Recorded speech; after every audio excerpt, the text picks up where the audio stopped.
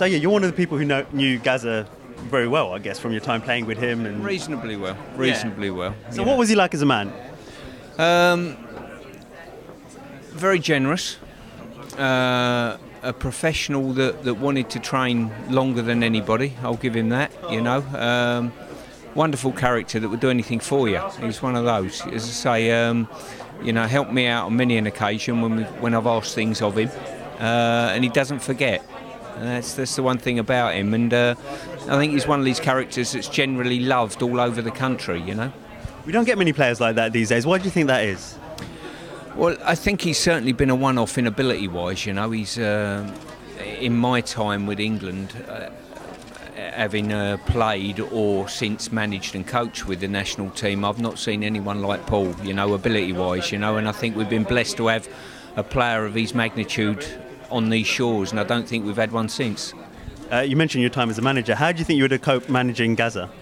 That would have been hard work. I've got to tell you that. Um, I'd prefer to play with him than manage him, to be honest with you. He's one of these. He's like a naughty schoolboy, basically. I think the likes of Terry Venables and uh, Bobby Robson handled him fantastically well, you know, and uh, probably Terry got the best out of him as a manager. So.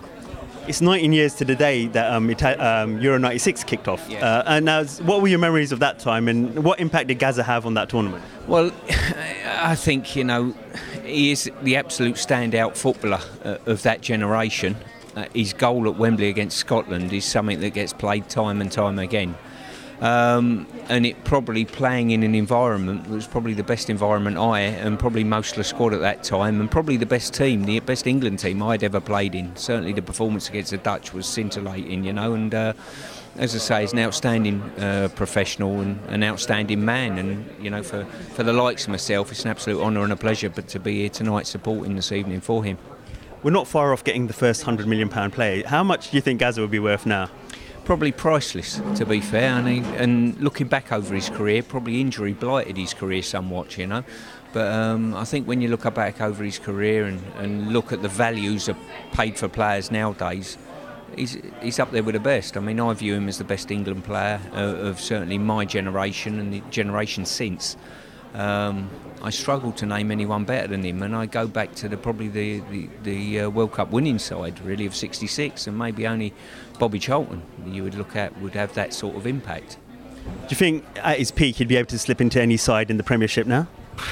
That's the biggest understatement ever. You know, he could comfortably handle not only any team in the Premier League, he would probably fit into a Barcelona side, and that's probably the biggest compliment I could pay to him.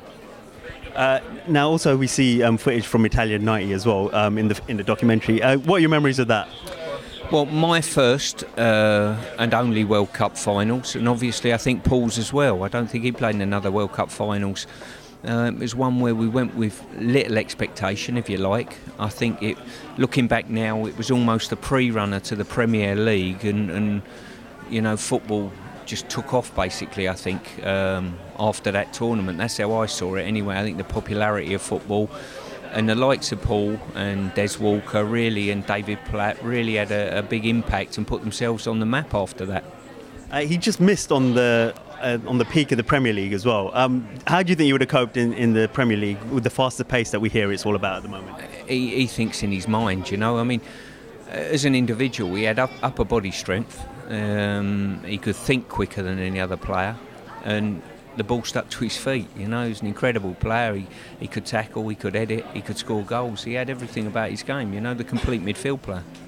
And finally, um, given uh, given that you played with him, who does he compare with nowadays? Are there any players that you can see either in this country or internationally that are like Gazza? I, I don't see too many that that uh, have got all the attributes that he's got. Some have got some attributes. The Steven Gerrard's got some of his attributes, if you like, you know. But I think with Gazza, Gazza had that real arrogance as well. You know, no matter who he went up against in the world, he felt he was better than they were. You know, and, uh, and quite often he was.